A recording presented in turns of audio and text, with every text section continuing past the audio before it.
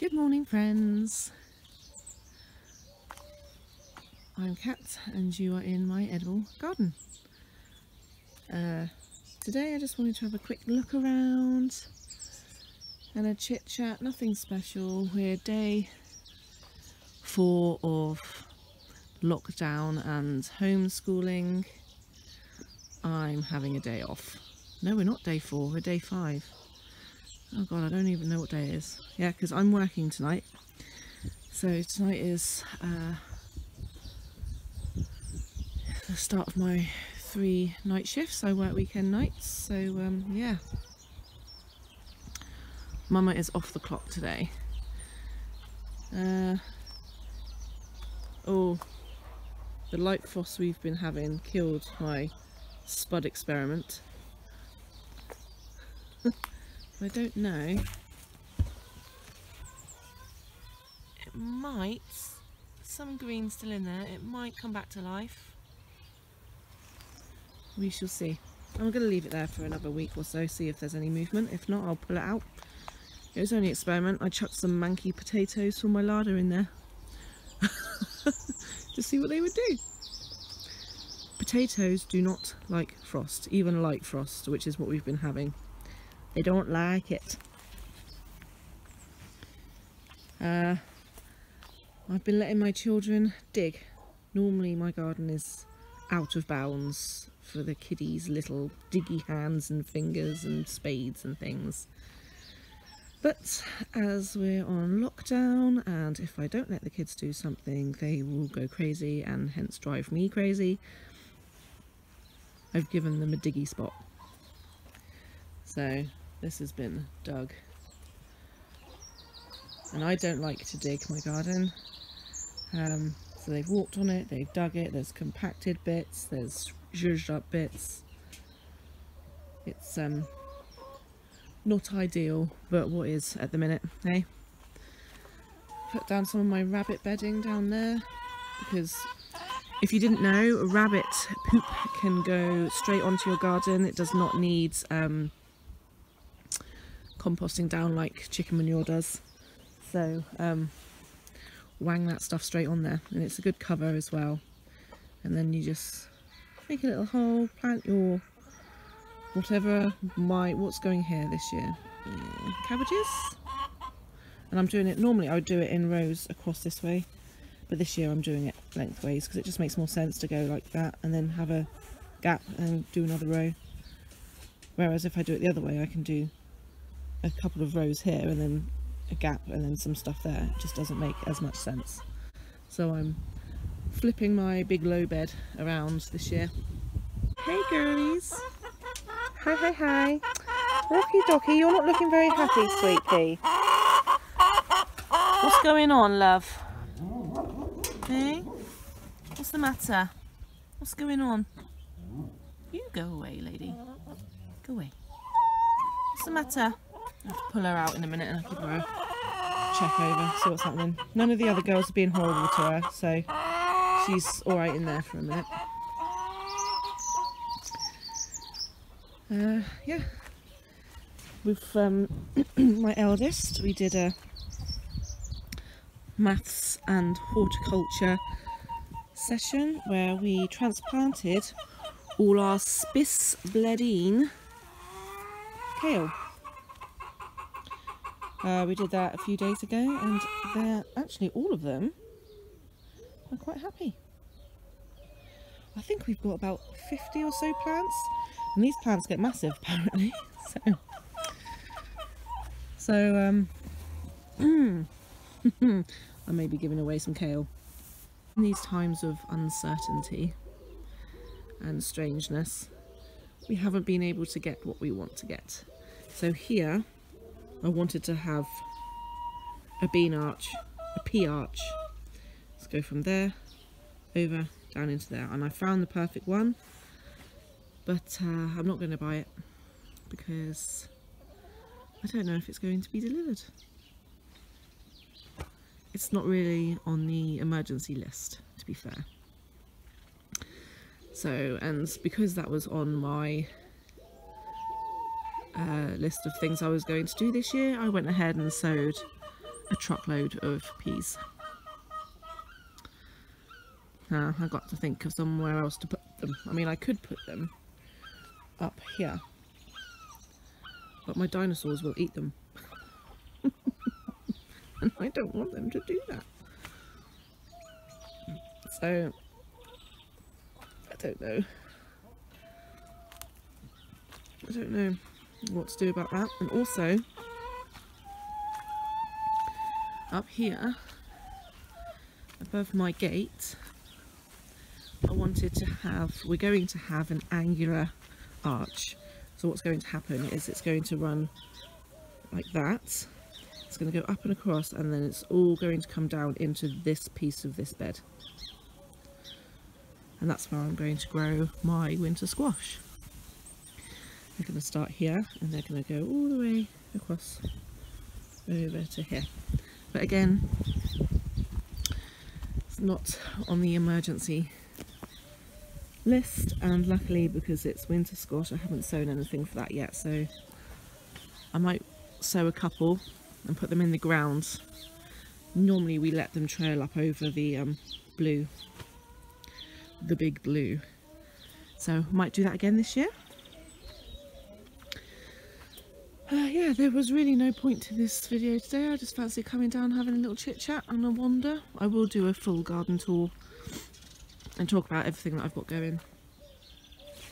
I've got quite a bit of stuff here. Um, well, something I, I'm a bit unsure of is these. These are my Malabar red and green kales. Now I sowed them over a week ago and I've got no movement at all on them. And I only bought them at the end of last year ready for this year. So there shouldn't be anything wrong with the seed. So I have no idea what's going on there. If anyone's um, had issues with Mal Malabar spinach, let me know because I was really disappointed because these are frost tolerant and drought tolerant. They're like wonder plants and I was got the red and the green. I was looking forward to having them growing all nice and tall and giving me spinach forever. But uh, there's a lot of seed in there and not one of them has germinated. So I am not impressed. I might have to go back to where I got them from and um, have a bit of a whinge. I don't like whinging, but um, especially now at the minute. It's all a bit weird at the moment, isn't it? So I brought them out because I thought maybe it's too hot in the polytunnel, so I'm going to bring them outside. I'm going to give them a water today and because uh, they're looking a bit dry, but they're moist underneath. I just don't, I just don't know. Frustrating. That was my only spinach and I've got nothing now.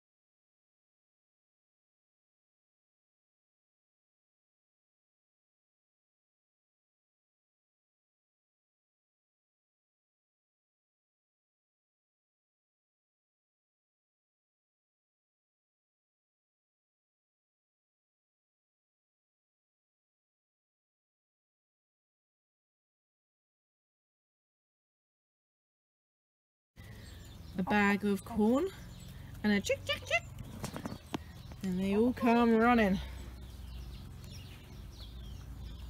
Good girls. Good girls. Yes you are.